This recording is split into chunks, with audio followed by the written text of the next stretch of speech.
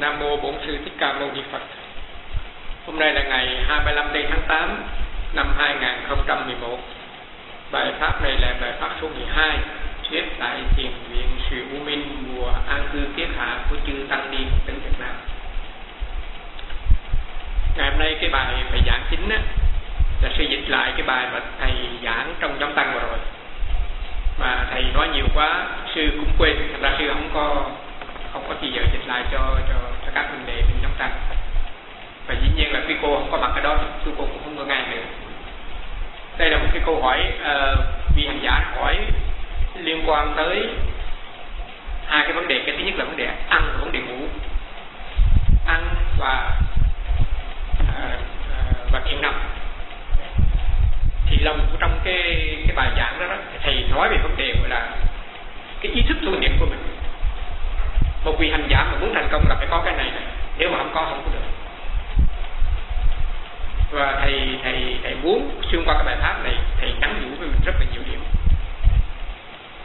dĩ nhiên là mình nghe rồi mình mới hiểu thầy muốn nói cái gì. Và anh chị em đừng có vội uh, kết luận rằng là ông thầy này sao mà ông khó tánh quá. Bởi vì chính ông nói cho mình nghe cái kinh nghiệm ông tu niệm như thế nào thì mình hiểu cái con đường đi nó phải đi qua những cái chặng như vậy. Nhưng mà nội dung sư không có muốn nói cho nhiều. Nhưng mà bây giờ trước trước khi mà nói qua cái bài đó đó thì uh, trong cái phần này ông có nói về kinh nghiệm tu niệm của ông á. Thì thì thầy có có, có, có, có cho một cái bài pháp uh, nói về cái kinh nghiệm cá nhân tu tập của thầy thời kỳ mà thầy còn trẻ. Cái đây nó dừng qua chừng hai chục năm. Bài pháp này trước năm 2004 có cái tựa đề là sang vega sang vega tức là khẩn cấp tu niệm khi cái tuệ giác này nó khởi sanh cho hành giả rồi cái người hành giả ra. Rất thật sự là muốn tu niệm rồi thấy rằng là cái sự chết nó tới rất là gần và họ giúp quyết phải tu niệm không ai thích nữa. Lúc bây giờ là tự động làm việc thôi. Và thầy giảng thầy giải thích là tại sao cái sang vega này nó khởi sanh và, và nó khởi sanh trong cái điều kiện nào. Và từ cái chỗ đó là thầy nhắc mình thầy nhắc nhở rằng đó quý vị muốn cái này là quý vị phải làm cái gì? Chứ còn với cái tình trạng tu tập như hiện tại rất là khó phát triển cái sự tập của quý vị làm cho kinh nghiệm nó càng ngày càng đi lên. Thầy có nói một câu là thầy nói rằng tôi để ý một số uh, quý vị nữ ở đây cũng một năm một năm hơn rồi mà thấy không có tiến bộ được.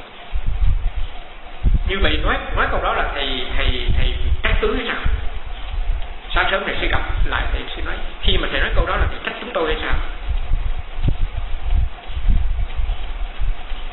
Bây giờ có một cái câu rất là hay trình pháp rất là hay và và và sẽ thấy là cũng là để cho mình thấy cái vấn đề luôn là khi phiền não khởi sanh, hành giả sử dụng tư duy chân chánh, giúp cho tâm mình yên xuống, thì từ đó mình mới bắt đầu mình phải duy trì chánh niệm.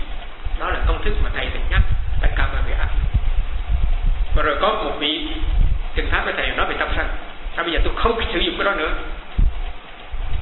Tôi để yên tôi đối mặt thẳng với tâm sân quý vị nghe câu câu kinh pháp mà. Con đang đi kinh hành, bỗng nhiên ký ức đau khổ sống trở lại. Con không muốn dùng tư duy chân chánh để tâm mình yên xuống, mà đối đầu thẳng với tâm sân đối đầu với phiền não, thấy toàn là tâm tâm này, nó nói rằng người ta tấn công con, người ta coi thường con, người ta khi dễ con. Tâm quá sương, tâm quá sân, muốn giết chết đối tượng. Và nói rằng, tại sao mặt đất không nứt ra để tôi nhảy vô, tôi chết tôi luôn rồi khủng khiếp chẳng như vậy đó. Khi mà tâm sân nó nổi lên, tôi giết đối tượng, tôi muốn giết luôn cả chính tôi. nữa thầy nghe tới ngày đó là thầy hoảng rồi thầy hỏi tại sao muốn tàn sát cái chính mình ý gì mà kỳ như vậy thì sư thưa với thầy vị này để cho chân sân cùng lên và đối mặt với nó đó là toàn tâm sân không ạ à? khi nó muốn giết đối tượng hay là nó muốn chính cái đó cái đó là tâm sân không có thầy ạ à? vị này để yên và quan sát tâm sân để coi nó làm gì thì thầy nói ờ à, vậy hả thưa thầy vị này để cho tâm sân bùng lên và đối mặt với nó, thay vì dùng tư duy chân chánh hay là thái độ chân chánh để làm cho tâm dịu xuống. Những lời nói đau khổ hằng học, phát khởi từ một trạng thái tâm rất sân hận và dữ dội. Cái này không phải cái vị hành giả này muốn, mà lúc đó tâm sân nó quá mạnh, là vị này nghĩ như vậy. Muốn triệt tiêu đối tượng muốn giết đối tượng, giết luôn cả chính mình. Nữa ồ, nếu thế thì hay quá. Thì nói ô cái đó thì đúng quá đúng quá hay quá nếu cứ dùng tư duy chân chánh bạn sẽ không bao giờ đối đầu để học và hiểu việc phiền não được được đâu như vậy thì mình thấy rằng cái sự thực tập mình nó đi từng giai đoạn một. Lúc đầu mình tư duy chân chánh tại vì cái tâm của mình nó còn yếu mình chưa đối đầu được cái phiền não. Tư duy chân chánh cho cái phiền não nó dịu xuống rồi mình duy trì trách nhiệm mà nhưng mà thầy nói đây là một cái dạng mà kia bằng là nó lừa gạt mình. Để, để đọc tiếp này.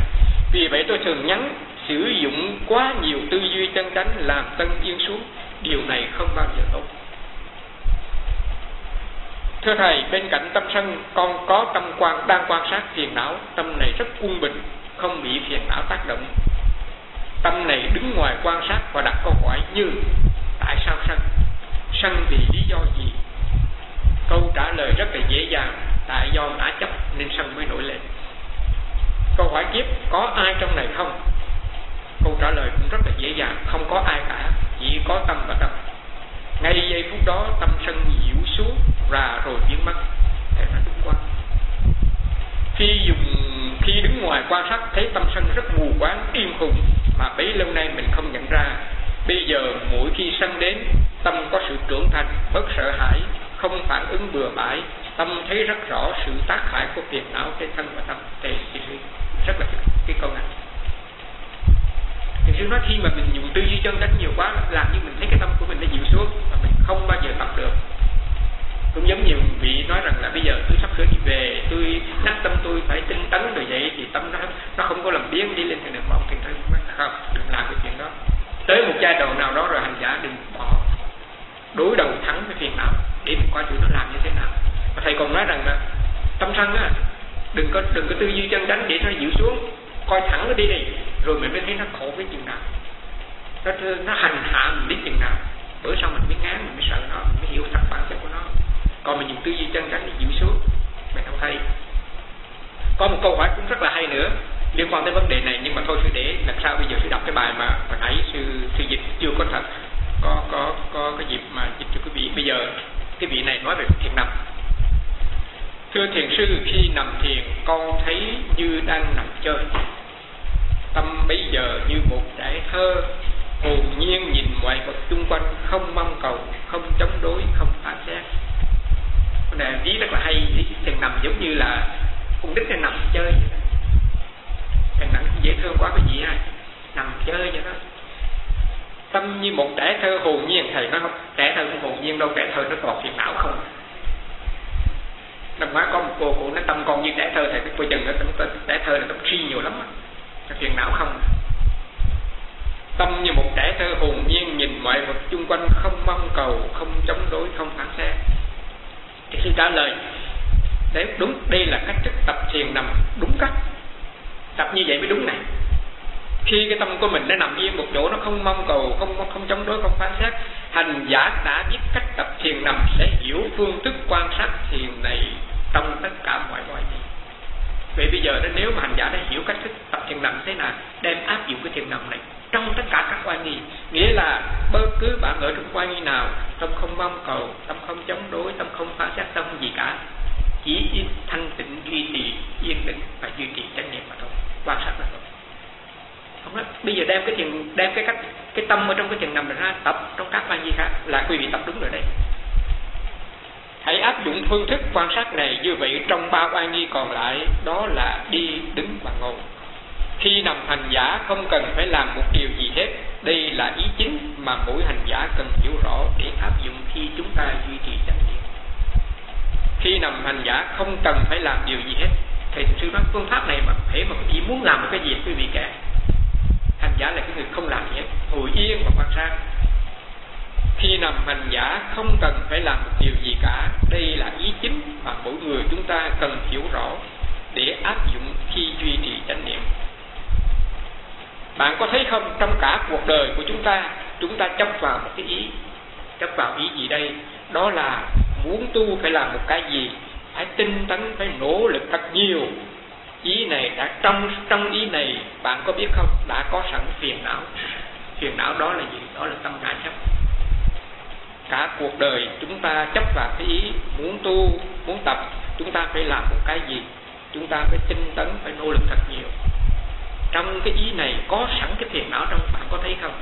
Cái phiền não đó là cái sự ngã chấp bây giờ một bài khác cũng nói về thiền tập. Cách đây hai bữa vào giấc chiều khi sự thực tập trở nên nhẹ nhàng. Thân, con thấy thân tâm rất là mát mẻ, dễ chịu tâm sáng suốt muốn hành thiền suốt đêm. Nhưng đến 9 giờ thì một vị đến một vị hành giả đến yêu cầu phải rời thiền đường để khóa cửa. Con đành chấp nhận về học tu. Vị này nói rằng cả buổi chiều cái tâm nó rất là nhẹ nhàng. Cả thân cái tâm rất là nhẹ nhàng và có ý định là muốn tu cả suốt đêm. Nhưng mà tới mới 9 giờ thì đã, ta đã lên ta đuổi rồi. Cũng giống như mất hứng rồi đấy. Phải đi về phòng tu rồi đấy phải chịu khó đi về phòng tôi đành chấp nhận cái chữ trong cái câu mà trình pháp là đành chấp nhận, tức là cũng bực lắm phải đi về thôi cho nên bây giờ tôi khóa cửa rồi mà ở trong này ra mũi cắn chết à. Đành chấp nhận đi về phòng nhưng mà không không vui chút nào hết. Thiền sư trả lời, Tâm mình nghĩ là tu suốt đêm, Nhưng làm được hay không, Đó là một chuyện khác. Thử và làm được đi rồi hãy nói, Chứ chuyện chưa xảy ra, Làm sao mà mình đoán rằng là mình sẽ tu suốt đêm? Khi nào mà bị nào mà muốn tu suốt đêm á, Là thầy thường dặn Thử đi. Và thầy nhắc rằng là không phải là tối nay mình nổi hứng Mình muốn tu suốt đêm đâu Làm cái đó không có được đâu. Là bởi vì mình đã ngủ quen rồi. Thầy khuyên là Thầy nói rằng là muốn mà muốn mà tập thiền tu suốt đêm á, là mình phải tập từ từ lấy ví dụ chẳng hạn như bây giờ đêm này mình ngủ thay vì 9 giờ mình đi ngủ thì 9 giờ rưỡi hoặc chẳng 10 giờ đó mình tăng lên từ từ tới lúc lúc nào là mình xếp lại mình rút lại cái giờ ngủ nó chỉ còn khoảng chừng thầy nó khi mà thầy tập là còn khoảng chừng từ nửa giờ tới 40 phút sau thì nó nghĩa là tức suốt ráng suốt đêm không ngủ ngày nhưng mà trong khoảng thời gian thế nào nó cũng chợt mắt từ nửa giờ đến 40 phút rồi hỏi thầy rõ ràng là bao nhiêu phút chẳng nói vậy đó cả đêm tôi ngủ khoảng chừng nửa giờ, bốn chục phút. Tôi đề nghị lần tới nếu thiền giả thấy tâm nhẹ nhàng, mát mẻ và muốn tu suốt đêm thì hãy thử đi, rồi bạn sẽ thấy bản chất của tâm si nó bày vẽ rất là nhiều mới tu được mát mát mới khoác vẽ chút cái là bắt đầu nó muốn thuốc đen nhưng mà thật ra là tâm si nó bày vẽ không. Cái chuyện tâm si mình đi đó nhớ trưa hôm nay, tức cười đang, hai thầy trò đang dùng cơm vậy đó. Tự nhiên cái thầy nói thì thầy nói, tôi múc cái muỗng canh này, tôi bỏ vô miệng. Cái vị lúc đầu thấy rất là ngon, mà hát từ từ, thấy ngon. Cái thầy nói, cái này là tâm si rồi. Cái sự hỏi của sao vậy? Ông nói, cái vị nó vẫn như vậy thôi nhưng mà lúc đầu mình hối hả quá mình muốn ăn quá mình thèm quá thấy không? Giống như mình chết đói rồi đó bỏ miệng thấy ngon quá thì lát cái thấy cũng bình thường. Cái sư nói dạ thưa thầy um, cách đây một hai năm tôi cũng có một cái kinh nghiệm mà tôi cũng biết có phải không? Là sao đó là hễ mà tôi nhìn cái cô cái bà mà sư nói sư đâu mà sư nói người khác cái gì. Đây là sư hé mở cho cái gì biết rồi không nghe cho còn thầy là sư nói người khác rồi sư nói sao mà tôi thấy quý cô rồi thấy đẹp lắm mà tôi hấp dẫn lắm mà sao chừng phải có bữa cái ngán chồng là đó đó đó, đó là tâm si đó. Người ta cũng như vậy thôi. Và mới lúc đầu mình gặp rồi mình háo hức háo hức quá mình thấy người ta đẹp.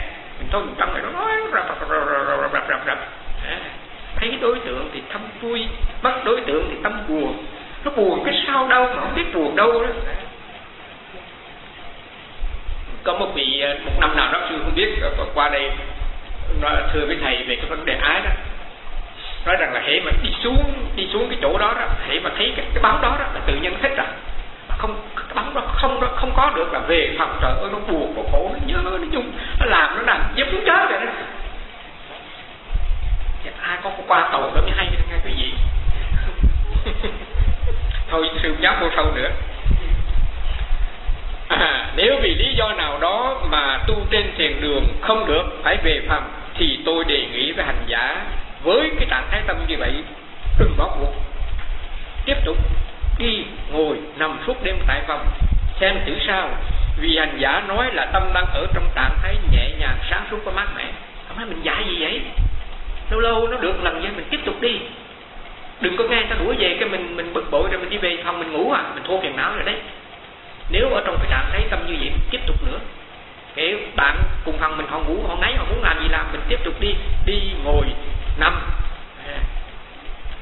Thưa thiền sư, con nằm chỉ được bốn chục phút lúc đầu thôi, thì khá tốt, nhưng sau đó thì tâm bắt đầu suy nghĩ, cho nên con đứng dậy đi kinh hành đó, thì vì cái bài này đang nói về vấn đề thiền nằm đó, thì vị này trả lời với thầy thiền sư là, có, con cũng có tập nằm đó, nhưng mà nằm chừng bốn chục phút à.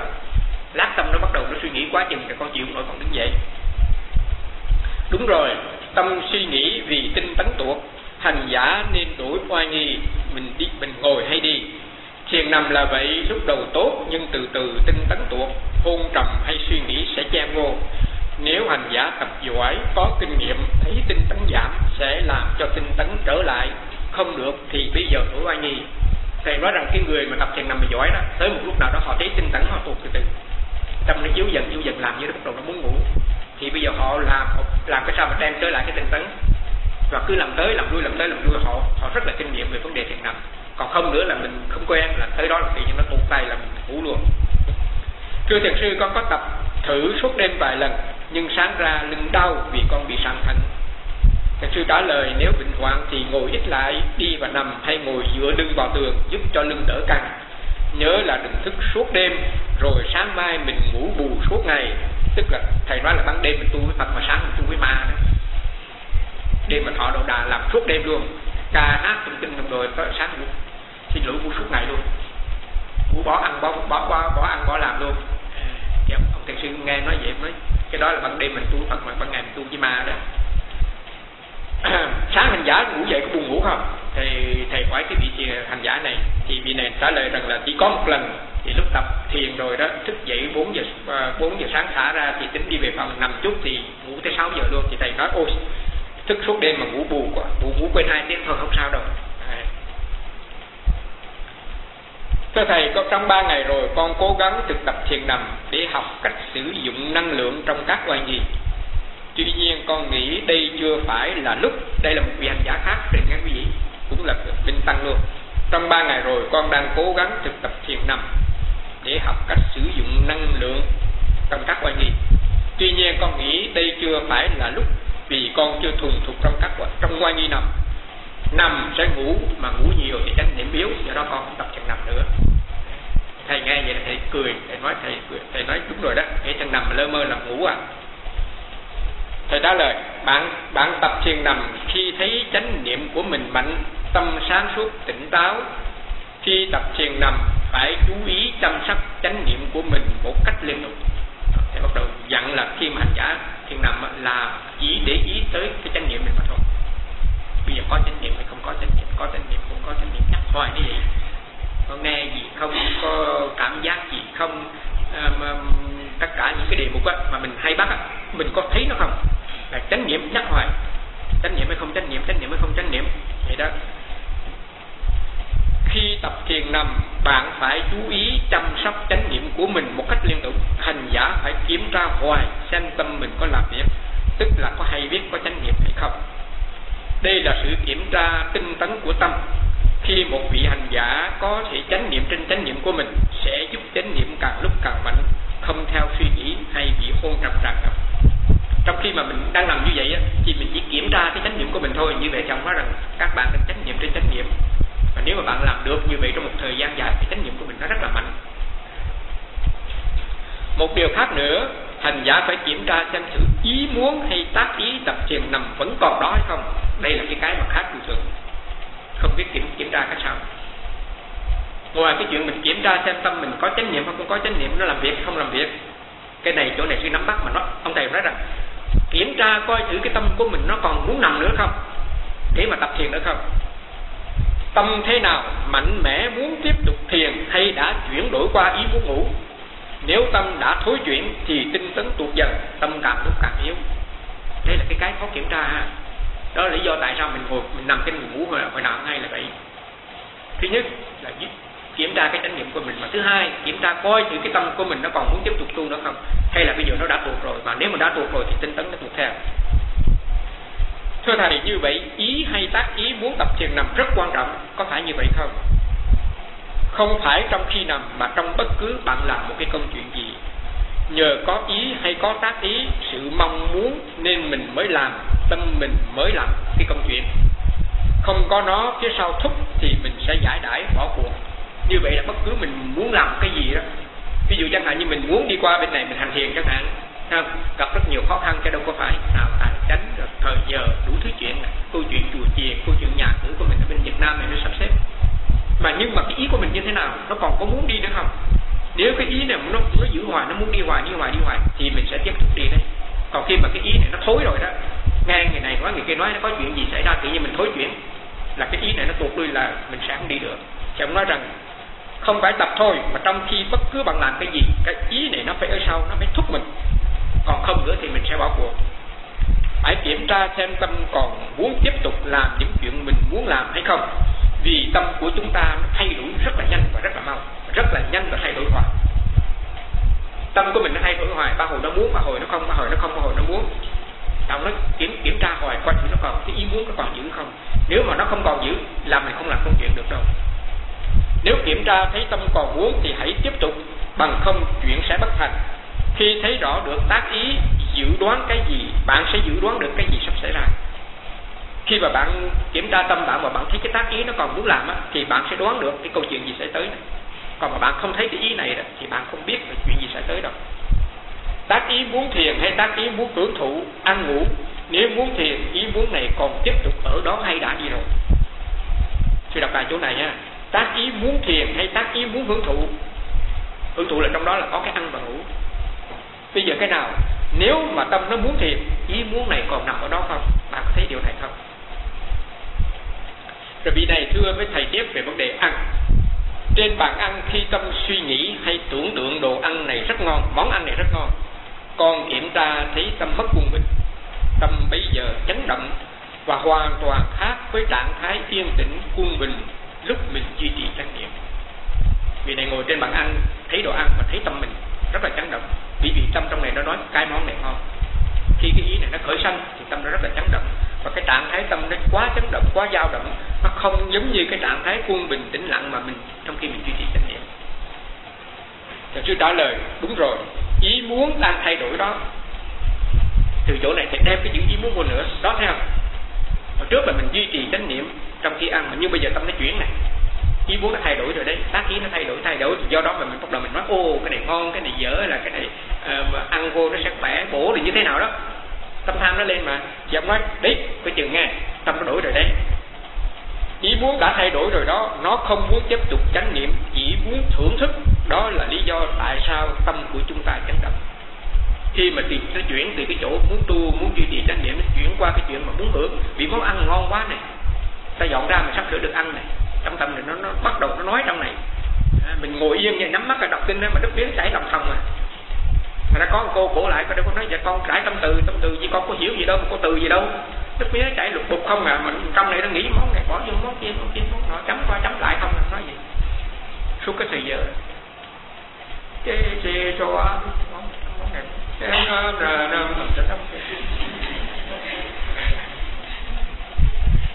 Làm với ai cũng có mà đang nói nghe cái tức cười liền.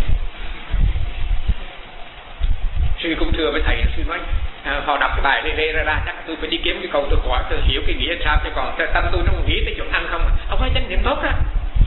thầy sư khen sư chánh niệm rất tốt tôi tốt gì đâu còn tâm tham không à?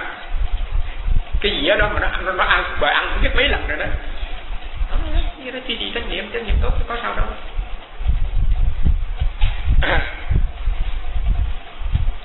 đúng rồi ý muốn đang thay đổi rồi đó nó muốn tiếp tục tranh không nó không muốn tiếp tục tranh niệm chỉ muốn thưởng thức. Đó là lý do tại sao tâm của hành giả chấn động.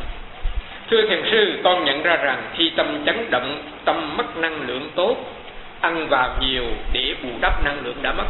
Sư sư vị này trả lời là thưa thầy là khi mà mình mình mình mà mình duy trì chánh niệm mình, mình mất chánh niệm á mà mình nghĩ tới chuyện ăn á là tâm mình đã hao năng lượng rồi. Cho thì bây giờ mình phải ăn để bù lại cái năng lượng đó. Mà khi mà ăn vô thì phải, cái thân nó phải làm việc. Ăn nhiều để bù đắp năng lượng đã mất, nhưng ăn nhiều thì mệt vì bắt thân làm việc. Nên cách tốt nhất là trên bàn ăn mình duy trì chánh niệm để bảo tồn năng lượng của mình.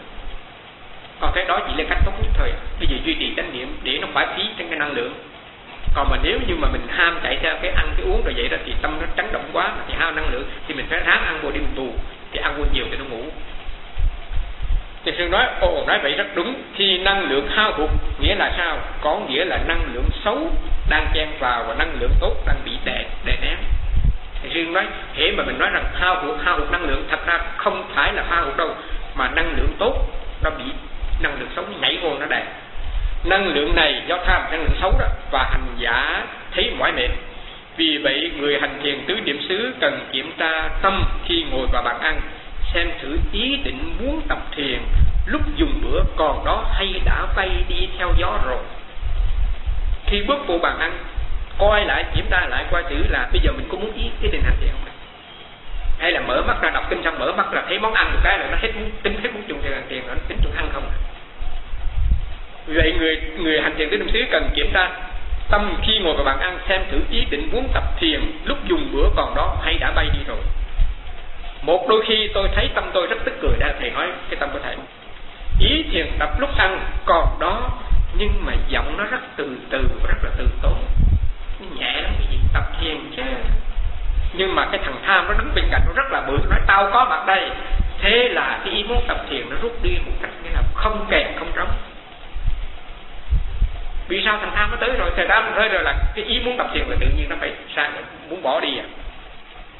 Khi tâm tham ăn xong tới với sức mạnh của một tay giác đấu, tâm muốn thiền, bây giờ sợ hãi, rụt rè như một cô gái, không dám nói năng gì nhiều nữa, chỉ âm thầm rút lui như một cái bóng.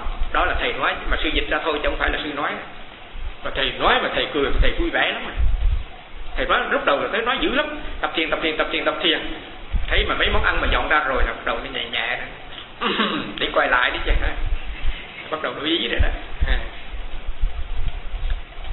đây vì vậy chân thật mà nói, tôi không chắc, tôi không tin. Thầy nhập lặp lại hai ba lần vậy. Tôi nghi ngờ tất cả hành giả không biết họ thực sự muốn thiền tập hay không đấy vì vậy, chân thật mà nói nói từ thật, từ đáy lòng của tôi đó, thì tôi không chắc, tôi không tin.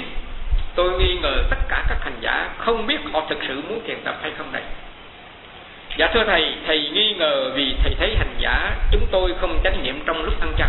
Do đó thầy nghi ngờ cái sự tu niệm của chúng tôi. Trong lúc ăn hả? Không phải đâu. Lúc ăn thì quá rõ rồi. Chạy đi đâu được nữa? Suốt ngày á không phải lúc ăn. Tôi nghi ngờ quý vị quá. Không biết quý vị có muốn tu thật không? Nếu tác ý muốn thiền tập mạnh thì tâm sẽ thúc đẩy hành giả duy trì chánh niệm liên tục và càng chánh niệm càng lúc càng mạnh tác ý muốn thiền, muốn duy trì chánh niệm phải mạnh thì hành giả mới duy trì chánh niệm được liên tục. Ông thầy thật sư ông nói, tôi dòm tôi thấy không có ai được liên tục hết trơn, như vậy là không có tác ý muốn rồi. Mà không muốn thì quý vị không muốn tu rồi.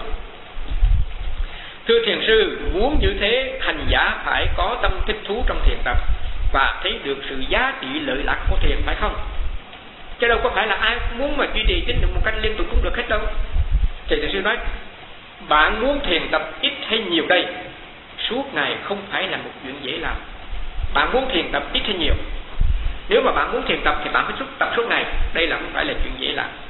Ở đây còn vậy, về nhà thì làm sao? Hành giả sẽ ngưng tu, ngưng chánh niệm để cho tâm hưởng. Một tâm khác vô cùng nguy hiểm, luôn luôn có mặt, đó là tâm si. Tâm si không muốn hành giả duy trì chánh niệm tâm si muốn cái gì? Tâm si muốn hành giả phải thất niệm, phải phóng dật phải suy nghĩ, phải nói tùm lum tà la trong này. Nó muốn chạy về quá khứ, nó đi tương lai, nó đủ thứ chuyện. Đó là trường hợp của tâm si. Tâm si không muốn mình chánh niệm. Đó là lý do tại sao hành giả không duy trì chánh niệm cho liên tục. Khi tham và si có mặt, hành giả mất chánh niệm. Vì chúng ta sống với tâm si quá lâu, cho nên si chặn không cho chúng ta sống trong hiện tại. Sống trong hiện tại tức là duy trì chánh niệm không được, chúng ta làm được, bị tâm si. Thực tế cho thấy khi người tu niệm hành trì miên mật từng phút từng giây, duy trì chánh niệm liên tục thì tâm càng lúc càng hướng về sự thực tập. Và càng tập lâu, trạng thái tâm này mỗi lúc mỗi mạnh và trí tuệ tăng thêm. Khi một người tu tập có tiến bộ, tức là là sao? Đấy là đức tin của người ấy vào pháp hành càng lúc càng mạnh. Chánh niệm càng lúc càng bén và trí tuệ tăng thêm một người mà tiến bộ là đức tin trong sự thực tập càng ngày càng mạnh chánh niệm càng lúc càng bé, và trí tuệ càng lúc càng tăng vì ấy càng lúc càng nghiêm túc và càng lúc càng hết lòng tu niệm. Hiện tại thì điều trái ngược đang xảy ra đối với tất cả thiền giả. Tập càng lâu hành giả càng đi xuống vì trí tuệ không tăng thêm chút nào. Nếu có thêm sự hiểu biết thì thiền tập càng lúc càng thì quý vị sẽ thiền tập càng lúc càng nghiêm túc. Thưa Thầy, như vậy vị hành giả phải nỗ lực rất nhiều vào giai đoạn đầu thì trí tuệ mới sanh lên. Khi có trí tuệ, ý muốn tu mới tăng thêm phải không? Đúng rồi, lúc bây giờ tự động hành giả biết tu với tâm thoải mái nhưng mà rất là nghiêm túc. Thì câu hỏi này, vị hành giả phải nỗ lực ngay rất nhiều ngay từ lúc đầu. Trong giai đoạn đầu phải nỗ lực rất nhiều thì may ra trí tuệ mới sanh lên. Mà khi mà đã có trí tuệ đó thì bắt đầu mới muốn ý mới muốn tu thì ông thầy sư ông nói tiếp ông nói đúng rồi bây giờ hành hành tự động, hành giả biết tu với tâm tư thoải mái và nghiêm túc. Tu rất là nghiêm túc nhưng mà rất là thoải mái. Hành giả sẽ thấy nhiều chi tiết ở mức độ rất là vi tế của tâm. Và hướng đi chắc chắn phải như vậy. Tự nhiên mình hiểu rằng là cái hướng đi nó phải như vậy. Càng lúc cái tâm của mình nó càng bén mình thấy rất nhiều cái tâm nó rất vi tế ở trong này. Và mình hiểu rằng đó là cái hướng đi đúng. Tôi thấy rất nhiều vị ở đây hơn một năm mà không tiến bao nhiêu vì không thêm một chút không thêm được một chút trí tuệ nào cả không thấy rõ lợi lạc của sự thiền tập. Mới tới vị nào cũng rất hăng hái bây giờ chưa tới một nửa của mùa an cư mà đã thấy bê đết rồi. Chưa tới một nửa mùa an cư mà thấy bắt đầu lết la rồi đấy. À. nguyên tắc là nếu bạn hết lòng với Phật pháp thì Phật, Phật pháp sẽ hết lòng lo cho bạn chữ hết lòng này là thầy dùng chữ take care quý vị thế mà thế mà mình hết lòng với Phật pháp tức là mình hết lòng tu niệm thì Phật pháp sẽ lo cho mình. Ở đây tôi chưa thấy có mạng nào được Phật pháp lo cho cả. Bị thảm qua cái gì? Thưa Thầy, đó là tình trạng chung của các thành giả ở khắp nơi chứ riêng thiền viện Sủ Minh đâu. Có phải đó là lý do mà Thầy không muốn cho chúng tôi ở lại lâu quá ba tháng chăng? Đúng như vậy, ở càng lâu càng nhiều chuyện sức đầu xảy ra. Người càng đông, ăn càng nhiều, nghĩa càng dữ. Cái này là sư xin lỗi thầy nói đấy càng nhiều chứ có thêm gì đâu. Ở trường thiền quá ốc cũng vậy, không biết ai nói cho thầy nghe. Ở lâu tu lâu không tiến bộ, người ta bỏ tu, người ta hướng về chuyện bố thí, làm công quả kiếp phước. Thiền tập khó quá, tu mãi mà chẳng thấy tới đâu, nên tâm xuống đi làm phước còn kiếm chút cơm, chút cháo nữa chứ. Bây giờ tu cũng được cho rồi, thôi, biết tìm phước cho biết sao giờ. Đó là công công quả đó đi làm công quả đi làm phước. Thưa thầy, như vậy tức là động động lực mà thúc đẩy là tâm si phải không? Đúng rồi, đi làm phước, đi làm công quả là tu bỏ cuộc á mình thấy nản quá mình bỏ cuộc mình đi làm đi làm công quả cho yên cho rồi. Đó thay vì đi ngồi thiền đi quét nhà từ nhà làm đi làm mình đi vô nhà bếp giúp đỡ chuyện này chuyện kia. Điều này không có nghĩa là mình nói rằng là những người mà là là, là, là, là làm như vậy tức là tu cũng được. Không phải nhưng mà thường thường là như vậy. Thấy không? Thì ông nói rằng là cái động cơ mà nó thúc đẩy mình làm những cái câu chuyện này là tâm si trong không?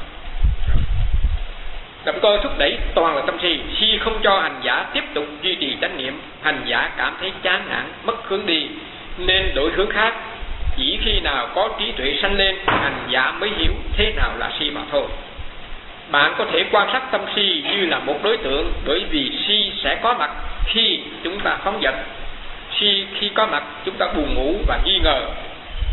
Tam tham, tâm sân, tâm ngã, mạng ganh tị, hành giả quan sát tâm si qua sự biểu hiệu ra ngoài của những tâm này hồi trước thầy nói phải mình có trí tuệ mình mới thấy mình mới hiểu được suy thì nhưng bây giờ thầy nói lại thầy nói mình không chưa hiểu nhưng mà mình có thể quan sát thi si dưới cái sự biểu hiện của nó đó là tâm phóng vật tâm uh, nghi ngờ tâm uh, bổ ngủ đủ thứ tâm.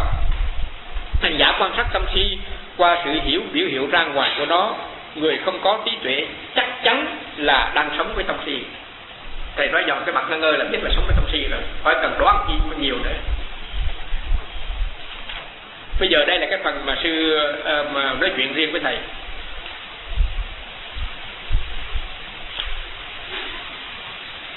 Thưa thiền thưa thầy thầy nhận xét rằng đa phần hành giả không thực sự muốn tu.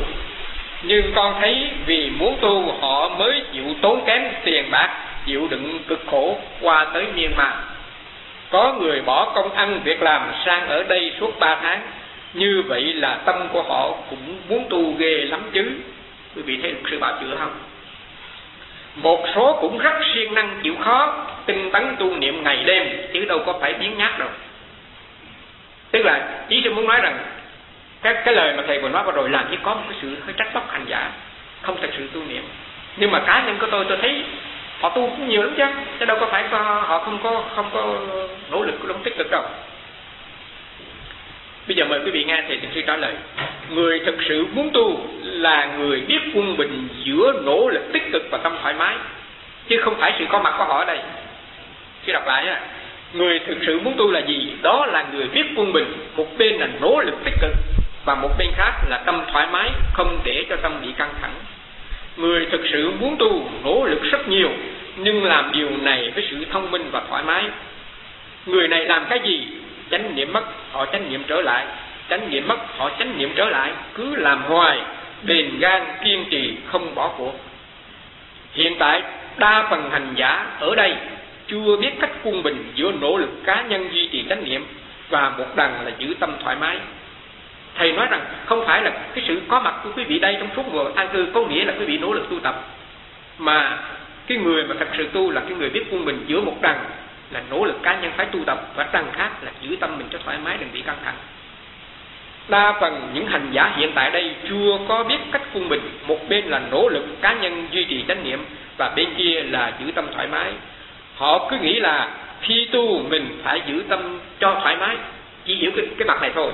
Vì thế họ lê la trò chuyện đi đó đi đây rất là nhiều. Khi biết tu hành giả sẽ rất thoải mái. Nhưng hành giả bây giờ ít để ý. Không lý hay đúng ra là không để ý nhiều câu chuyện của những người xung quanh. Người ấy thích thú tu, không giao tiếp bạn bè, không làm quen người này, người kia.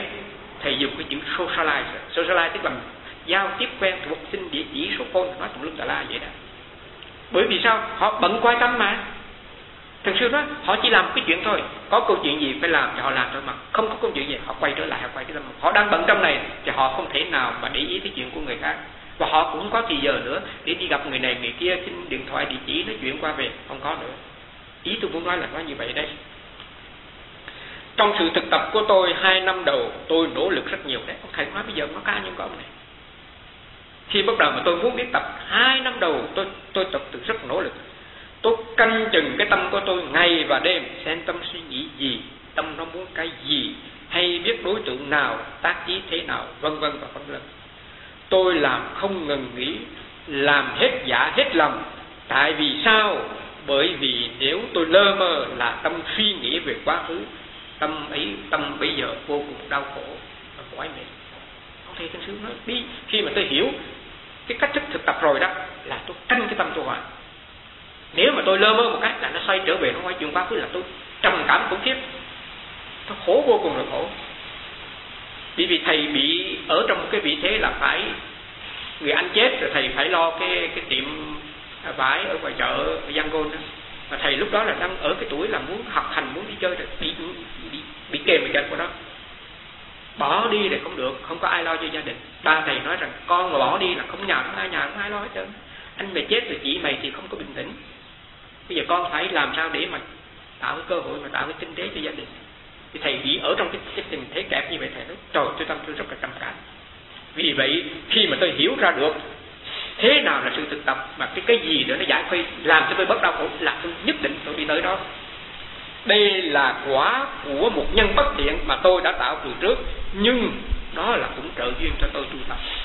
Tôi nhớ tôi như bị con chó dồn vào chân tường cho nên tôi sẽ cắn phá đạp bằng mọi cách để buông ra. Ngay trên trên chỗ nhà ăn, thầy nói tôi bị dồn con góc này. Tôi là con chó, tôi bị dồn con góc này. Bây giờ tôi biết cách rồi. Tôi biết cách nhảy ra rồi. Thành ra tôi sẽ xoay trở lại, tôi đạp, tôi cắn, tôi làm đủ mọi cách để tôi vượt ra. Có một lần thầy nói rằng, thầy sử dụng cái cái cái đồ mà ông hiếp cho quý vị. Lúc mà nó trầm cảm, nó nặng quá đó. Lúc này thầy chưa thực sự tu niệm đâu. Thì thầy chỉ biết cái cách sơ sơ thôi thì thầy lấy ông hít thầy hít mà khi mà thầy hít vô như vậy thì thầy để tâm vô chỗ đó đó thì thầy thấy cái tâm nó khỏe à. Thì thầy nói cái này là đúng rồi này. Bởi vì khi tâm của mình mà không có suy nghĩ thì mình thấy khỏe thì thấy hiểu lơ mơ như vậy thôi. Và khi mà gặp hòa thượng sau cái trận mà uh, suy sắp sắp đọc những vị nga đó là thầy nói lúc bây giờ tôi giống như một cái con chuột người ta nhốt vào trong tôi trong một cái lòng. Họ nhốt tôi gần cả mấy năm này rồi và tôi kiếm tìm mọi cách tôi đi ra nhưng mà bây giờ tôi mới biết rằng có một cái kia đó, mà tôi cắn sơ sơ vài cái là tôi thấy bắt đầu nó lủng tôi sẽ cắn cho đến lúc nào nó vừa đủ cái đủ cái cái miệng nó đủ rộng cho cái thân hình tôi lọt ra, tôi sẽ cắn ngày đêm. Tôi sẽ cắn cái lỗ này cho đến lúc nào tôi có thể lọt ra và tôi biết có thể cắn được. Những chỗ khác tôi không cắn được. Hồi khi mà vừa sáng hôm hôm qua là thầy nói chuyện với sư là thầy nói tôi bị con giống cái con chó nó dồn trong tôi chân tường đây là một cái ác nghiệp tôi tạo trong quá khứ do đó bây giờ tôi trầm cảm khủng khiếp. Nhưng mà đây là một cái một cái nhân duyên để mà giúp cho tôi tu niệm.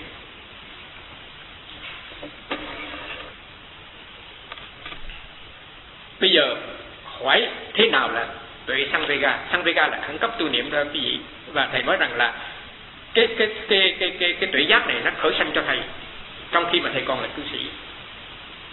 Khi có được sự hiểu biết hiểu thật sự chứ không dùng tư duy rằng cái chết sẽ đến, bây giờ sang vega sẽ khởi sanh.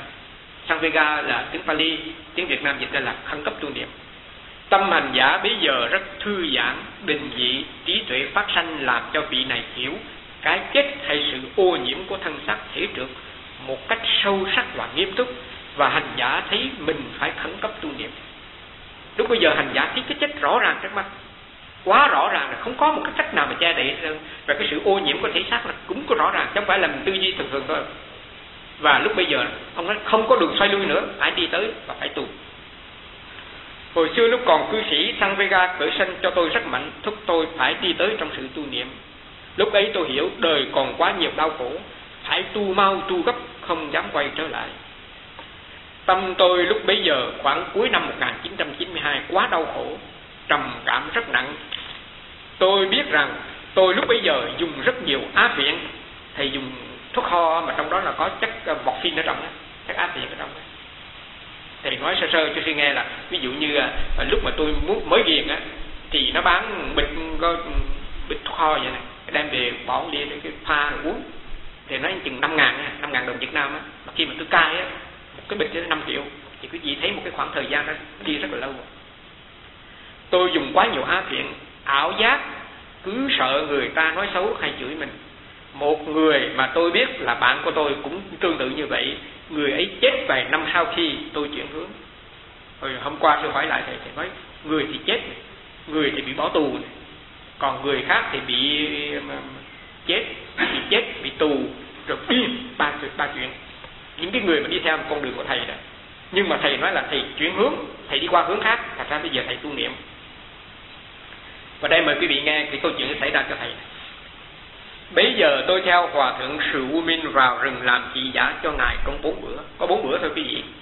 Cái rừng này nằm ở dưới vùng Mulamen á, gần cái trần thiền pháo á. Một hôm tôi ngồi một mình dưới gốc cây trong rừng vắng vẻ, không hành thiền, tôi chỉ ngồi chơi vậy thôi. Thầy ngồi thì chống tay vậy. Chỉ nhìn khu rừng cây, chợt tôi thấy tâm tôi thật là rõ. Rất nhiều tâm sanh lên, thật nhanh, toàn là tâm thích ghét. Ưa ghét ưa ghét ưa, ghét. Thích không thích thích không thích thích không thích. Thầy tự thấy cái tâm của thầy. Thích cái này không được, bực. Ưa cái nọ không có, sân. Muốn theo cách này không được, buồn giận, sân buồn giận, tức bực. Thầy nói vậy. Trước đó tôi thường tập rất nhiều, nhưng không có tập cái gì ra cái gì. Tôi tập, tôi bỏ tôi bỏ, tôi tập. Đôi khi không nghe lời ai hết, chỉ tập theo ý mình nhưng vào đúng lúc ấy, trong khi ngồi trong khu rừng yên tĩnh vắng vẻ, không có ai cả, tâm tôi bắt đầu êm và quay về quán chiếu lại bên trong. Tôi sửng sốt như người bị một cú sốc rất mạnh. Khi thấy tâm còn quá nhiều tâm bất thiện, tôi chợt nghĩ nếu mà mình chết ngay bây giờ, chắc mình không thể nào mà đi lên được. Nếu mà chết bây giờ là chắc đọa xuống bốn ác đạo quá, chắc chắn một trăm phần trăm như vậy cái chết lẫn vẫn trong đầu tôi suốt ngày hôm sau. Thế là tôi hết lòng tu tập duy trì chánh niệm. Bất cứ làm cái gì tôi cũng không bỏ sót một ai nhi nhỏ nào. Một lần nọ tôi được hòa thượng dẫn đi kéo nước giếng. Tôi làm rất là chánh niệm. Cái, cái, cái giếng nó có cái gầu đó cái gì? Thì mình à, mà, mà, sau này có cái cục cái chân vậy đấy mình kéo dỡ cái đầu tre đó đẩy cái lên. Một lần nọ tôi kéo nước giếng. Tôi làm rất chánh niệm cái gầu rất lớn, nên khi đầy nước rất nặng, tôi từ từ kéo lên. Tâm hoàn toàn ở trong thân, không hay biết gì bên ngoài. Thình lình có một người lại đứng gần tôi. Bên cạnh hồi nào mà tôi chẳng hay. Ông nói, tôi, tâm khi tôi đang kéo kéo nước kéo nước về. Tự nhiên ngó qua là thấy có một người nào đứng bên cạnh tôi. Tên này rất phạm vỡ, đen thui. Nhìn tôi chăm chăm. Tôi hỏi, hắn muốn gì? Hắn nói với tôi rằng, hắn cho tôi xin một miếng nước tôi đưa nguyên cả cái xô nước cho hắn. Hắn uống không còn một giọt rồi quay lưng đi. Hắn đi xong rồi, tôi nhìn lại không thấy đâu nữa. Nhưng bây giờ tôi run lên cầm cập. Bởi vì sao? Tôi mang đồng hồ vàng, đeo nhẫn, buôn bán mà. Đại gia mà. Tôi mang đồng hồ vàng, đeo nhẫn ờ, đeo nhẫn, đeo lắc, tiền trong túi rất là đầy. Hắn chỉ cần đạp tôi một cái là tôi xuống giếng là tôi chết ngay. Lấy xong là chỉ cần đạp tôi xuống giếng cái là tôi chết quá dễ dàng. Bị tôi ngồi trên miệng giếng mà. Tôi có cảm tưởng như vừa sống sót sau một tai nạn khủng khiếp. Chưa hết, một buổi tối cũng trong khu rừng vắng vẻ này, có người bị đau nặng và hòa thượng bảo tôi đi kiếm thuốc. Phải đi một đoạn đường khá xa, phía dãy cốc của các cô tu nữ. Đường lối, đường tối, nhưng tôi khá quen thuộc vì nhờ đã đến với hòa thượng nhiều năm rồi. Cho nên dù không có đèn bấm trong tay tôi không có đèn bấm trên tay mà tôi không bật mà lần mò từng bước trong đêm. Và thượng sai đi lấy thuốc. Nói qua bên dạy mấy cô đó xin thuốc bên đó tại vì có người đau. Thầy đi mà thầy nói đừng biết đừng, đừng bấm trong tay mà thầy bấm là tại vì thầy quen rồi biết rồi không cần bấm. Vì tôi tới đây nhiều lần rồi. Khu vực này nổi tiếng là có rất nhiều loại rắn và loại rắn độc cắn chết người.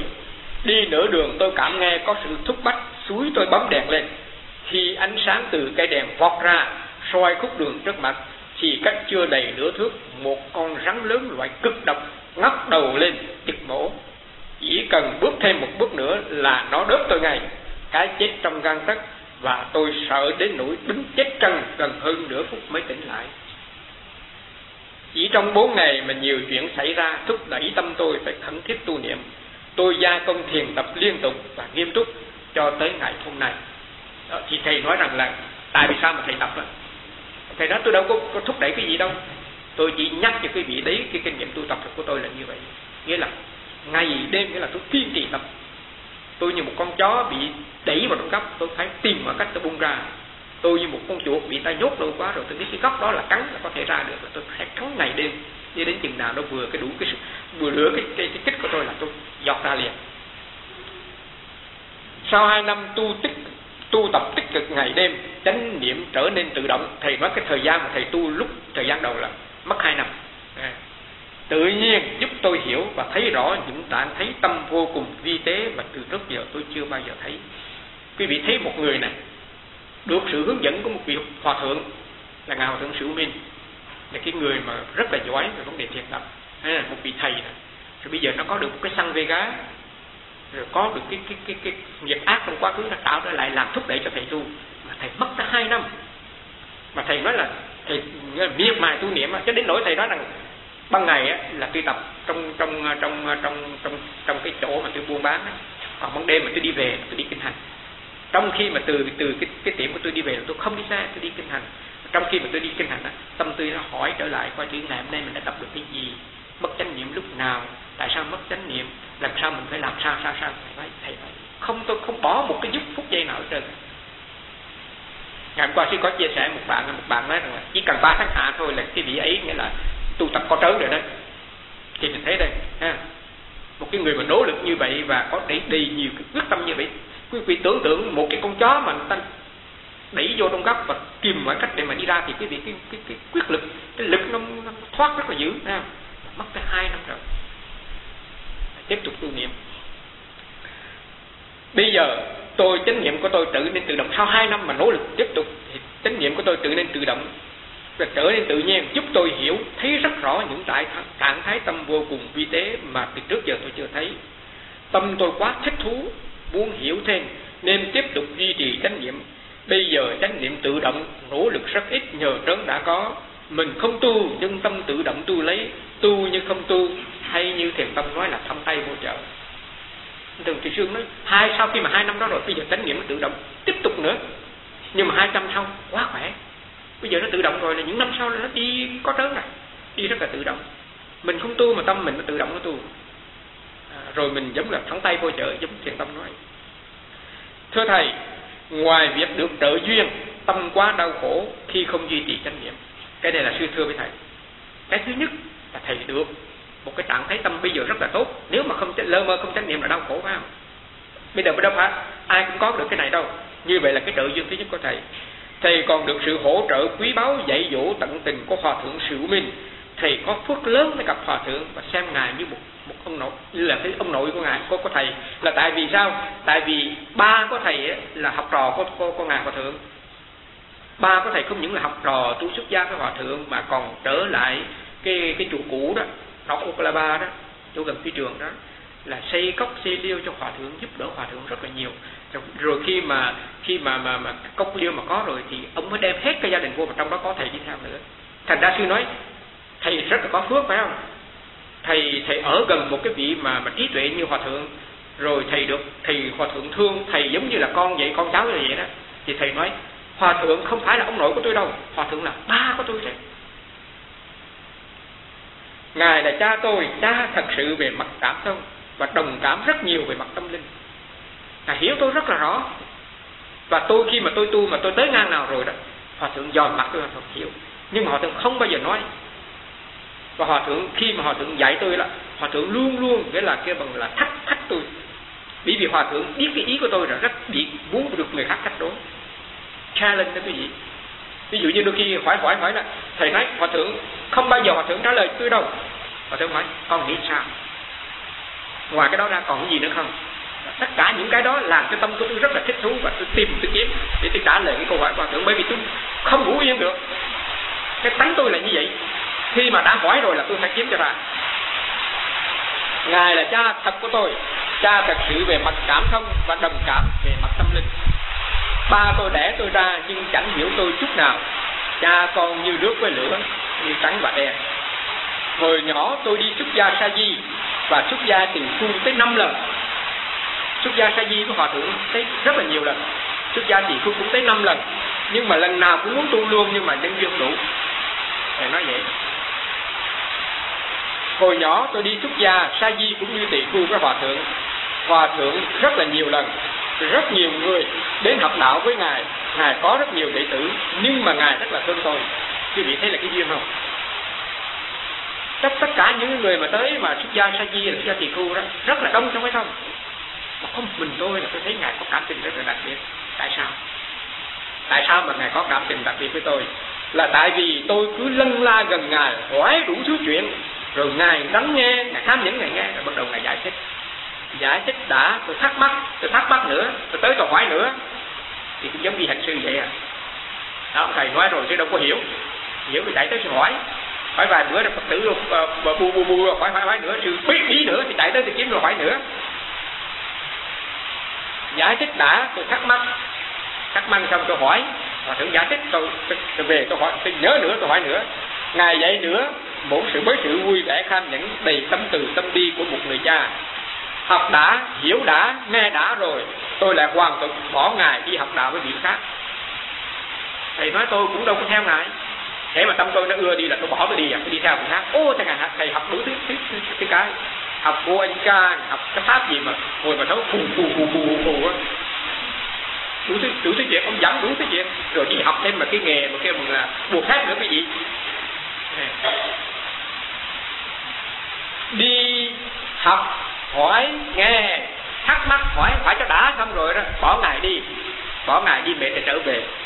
Tức là đứa con thơ để đã về nhà đó quý vị. Đó là lời của trịnh công sơn. Thắc mắc hỏi hòa thượng giải thích không từ nan một điều gì cho tới lúc tôi xuất gia luôn với ngài. Tôi rất thích cách dạy của hòa thượng. Vua hòa thượng không bao giờ trả lời cho tôi mà luôn luôn đặt câu hỏi, con nghĩ sao? Tại sao vậy? Con thấy còn có chi thêm nữa không? Ủa, có thấy bao nhiêu đó thôi à? Còn thêm cái gì nữa không? Con có hiểu tại sao không? Rồi, cái kinh nghiệm như vậy con nghĩ sao? Hồi trước tốt, bây giờ, hồi trước xấu, bây giờ tốt. Tại sao chứ? Con nghĩ sao đấy? Thành ra khi mà hòa thượng hỏi như vậy là tôi phải là thắng công để tôi tìm tôi kiếm có một lần thầy kể một cái, cái kinh nghiệm liên quan tới tâm từ cái gì. Nhưng mà nếu mà sư nói cái này dài quá phải để tôi đọc cho hết cái này rồi sư trở lại ha.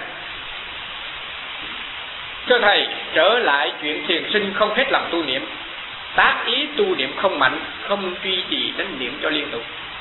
Tuy nhiên theo ý con nói thế cũng tội cho người ta.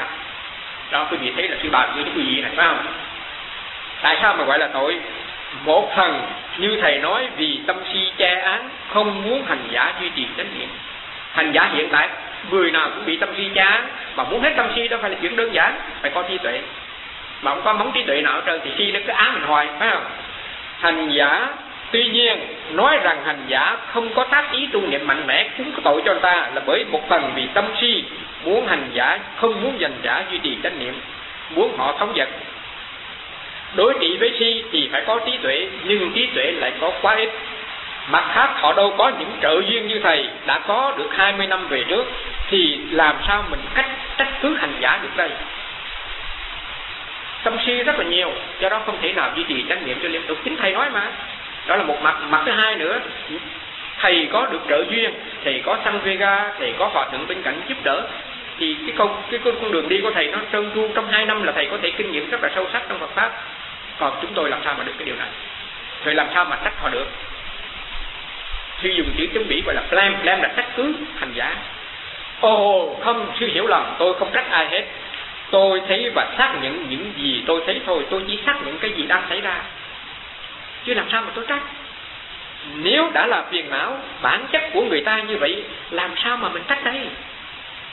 Thầy sư có thấy không? Chính sư cũng nói là tâm si, tôi cũng nói là tâm si. Mình xác nhận cái gì đang xảy ra. Hành giả hiện tại bây giờ bị tâm si nó cha do đó hành giả không thể nào duy trì chánh niệm cho liên tục. Tác ý tu niệm rất là yếu. Thì cái đó là bản chất của người ta mà. Mình chỉ xác nhận cái chuyện đó thôi. Cũng giống như bây giờ mình thấy một người hứa ăn. Mình xác nhận họ là cái người hứa ăn thôi chứ mình không đổi họ được. Và mình cũng trách họ được. Bây giờ sao bây giờ? Hay là một người mà mà rất là tham dục rồi mình sao mà mình nói đây? Thì thầy nói mà đã là phiền não mình đừng có trách ai hết. Mình trách như vậy là mình ngu. Mình thấy người ta sân hận mình trách người ta sân hận tức là mình đem cái cái, cái phiền não của ta mình để quan tâm của mình. Mình có đổi gì được đâu nếu đã là phiền não thì bản chất của người ta như vậy làm sao mà mình phê bình chỉ trích mà sao mình nói đây? Là thiền sư tôi cũng không muốn thúc ép bởi vì sao? Nếu làm thế thì hành giả sẽ căng thẳng và không tu được bây giờ mình mình thấy hành giả không không thực sự tu niệm mình thúc người ta, chúng ta tu cũng được nữa.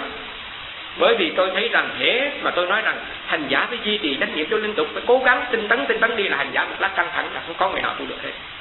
Và cái này tôi đã phải trả một cái giá rất là vì chuyện này chính thầy thầy nói như vậy.